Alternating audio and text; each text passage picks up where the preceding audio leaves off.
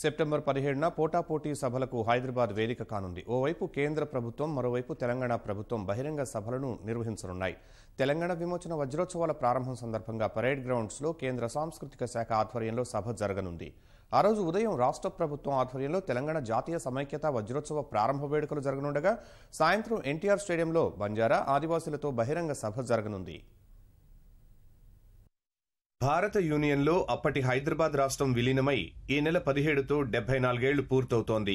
డెబ్బై ఐదవ సంవత్సరంలోకి అడుగుపెడుతున్న వేళ కేంద్ర రాష్ట్ర ప్రభుత్వాలు పోటాపోటీ వేడుకలు నిర్వహించేందుకు సిద్దమయ్యాయి తెలంగాణ విమోచన వజ్రోత్సవాలను ఏడాది పాటు నిర్వహించాలని నిర్ణయించిన కేంద్ర సాంస్కృతిక శాఖ ప్రారంభంగా హైదరాబాద్ పరేడ్ గ్రౌండ్లో పదిహేడున బహిరంగ సభను ఏర్పాటు చేసింది. కేంద్ర హోంమంత్రి అమిత్ షా ముఖ్య అతిథిగా హాజరవుతుండగా తెలంగాణ మహారాష్ట్ర కర్ణాటక ముఖ్యమంత్రులను గౌరవ అతిథులుగా ఆహ్వానించారు. ఈ మేరకు కేంద్ర సాంస్కృతిక శాఖ మంత్రి కిషన్ రెడ్డి ముగ్గురు సీఎంలకు లేఖ రాశారు. చేయాల్సిన కార్యక్రమాలకు సంబంధించి సలహాలు కూడా ఇవ్వాలని రాష్ట్ర వ్యాప్తంగా వేడుకలు నిర్వహించాలని సీఎం కేసీఆర్ను కేంద్ర మంత్రి కోరారు.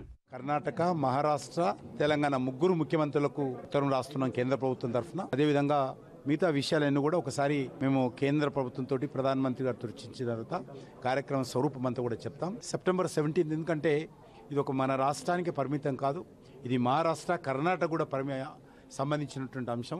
మూడు రాష్ట్రాలు కలిసి కార్యక్రమం జరిపితే బాగుంటుంది అనేటువంటి భావన రాష్ట్ర ప్రభుత్వం అనుకొని ఈ ఆజాద్ కమృత్ మహోత్సవ సందర్భంగా తెలంగాణ సంబంధించినటువంటి ఈ యొక్క seventy five years in celebrations independence celebrations జరపాలని నిర్ణయం తీసుకున్నాం. అటు రాష్ట్ర ప్రభుత్వం తెలంగాణ జాతీయ సమైక్యత వజ్రోత్సవాల పేరిట వేడుకలు నిర్వహించాలని నిర్ణయించింది. ఈ నెల పదహారు పదిహేడు పద్దెనిమిది తేదీల్లో ప్రారంభ వేడుకలు నిర్వహించాలని కేబినెట్లో తీర్మానించింది.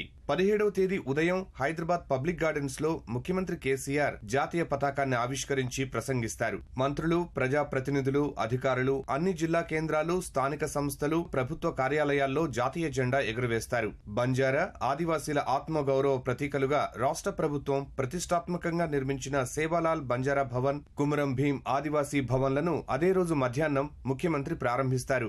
అనంతరం పీవీ మార్గ్లోని పీపుల్స్ ప్లాజా నుంచి అంబేద్కర్ విగ్రహం మీదుగా ఎన్టీఆర్ స్టేడియం వరకు భారీ ఊరేగింపు నిర్వహిస్తారు. గుస్సాడి గోండు లంబాడా తదితర కళారూపాలతో సాంస్కృతిక ప్రదర్శనలతో ఊరేగింపు ఉంటుంది. ఆ తరువాత ఎన్టీఆర్ స్టేడియంలో జరిగే బహిరంగ సభలో కేసీఆర్ ప్రసంగిస్తారు. సభకు భారీ ఎత్తున జనాన్ని సమీకరించాలని భావిస్తున్నారు.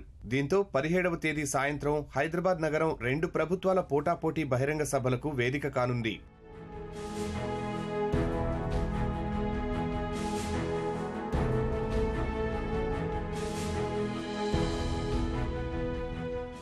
ఎంఐఎం కూడా సెప్టెంబర్ పదిహేడున జాతీయ సమైక్యత దినోత్సవంగా నిర్వహించాలని నిర్ణయించింది. పాత బస్తీలో తిరంగా యాత్ర నిర్వహిస్తామని మజ్లిస్ అధినేత హైదరాబాద్ ఎంపీ అసదుద్దీన్ ఓవైసీ ప్రకటించారు. ర్యాలీలో ఎంఐఎం ఎమ్మెల్యేలు పాల్గొంటారని వెల్లడించారు. తెలంగాణ జాతీయ సమైక్యత వజ్రోత్సవాలకు సంబంధించి ముఖ్యమంత్రి కేసీఆర్కు ఓవైసీ కృతజ్ఞతలు తెలిపారు. సెప్టెంబర్ పదిహేడున నాటి హైదరాబాద్ స్టేట్ భారత యూనియన్లో విలీనమైనందున వజ్రోత్సవాల దినంగా ప్రకటించాలని ప్రతిపాదించినట్లు ట్విట్టర్లో పేర్కొన్నారు. తమ ప్రతిపాదనను అంగీకరించినందుకు సీఎం కు అసద్ కృతజ్ఞతలు తెలిపారు.